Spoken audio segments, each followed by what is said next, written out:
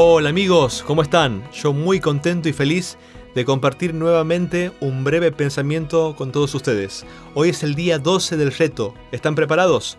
El tren se pone en marcha y ya prontito salimos hacia una nueva estación.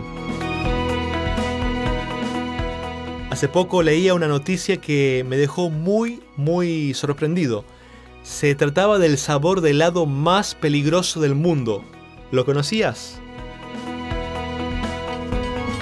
Bienvenidos al Expreso Bíblico con Destino al Corazón, conducido por el pastor Lautaro Silva.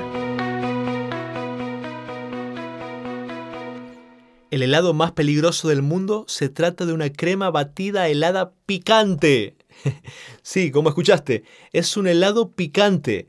Se dice que pocas personas se animaron a probarlo. Es más, los fabricantes dicen que pica hasta 500 veces más que la salsa de tabasco.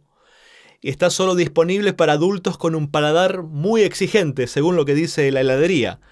Se lo hace en Glasgow, Escocia, y miles de personas ya han ido a probarlo simplemente por curiosidad.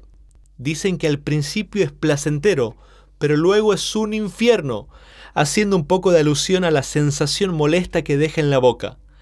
Paradójicamente, por una parte se disfruta y por otra se sufre. Y reflexionando me llevó a pensar que este sabor tan peculiar es muy similar al efecto que causa el pecado en nuestras vidas. La estación de hoy se llama pecado. Básicamente el pecado es cualquier acción, sentimiento o pensamiento que vaya en contra de las cosas o las leyes de Dios. A ver, en otras palabras, en la mayoría de los casos es todo lo que está relacionado con lo malo.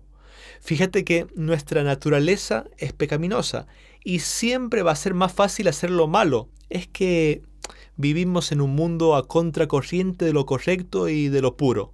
Escucha lo que dice la Biblia. Porque no hago el bien que quiero, sino el mal que no quiero, eso hago. Y si hago lo que no quiero, ya no lo hago yo, sino el pecado que mora en mí. Romanos 7, 19 y 20. Bueno, esto pareciera ser un juego de palabras, pero a veces hacemos algo que no nos gusta hacer o sabemos que está mal. ¿Y por qué lo hacemos? Porque siempre nos va a tirar a hacer lo malo. El pecado se presenta en nuestras vidas como algo rico, delicioso, placentero, pero después es un tormento, así como el helado más peligroso. Después la sensación de culpa y de pesar es inevitable. Ese lodo, esa sensación fea que sentimos se llama pecado. Básicamente pecado es errar el blanco. Esto quiere decir que cuando pecamos eh, no acertamos o nos desviamos de lo que tendría que haber sido correcto hacer.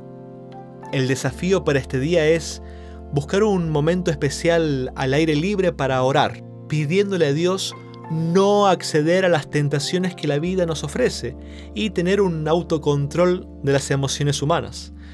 Quizás puedes hacer un cartelito lindo y visible ahí en tu casa anotando lo que dice Salmo 119.11.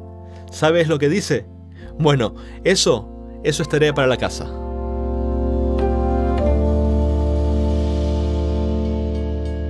Esto fue Expreso Bíblico. Nos encontraremos en la próxima estación. Será hasta entonces. Muchas gracias.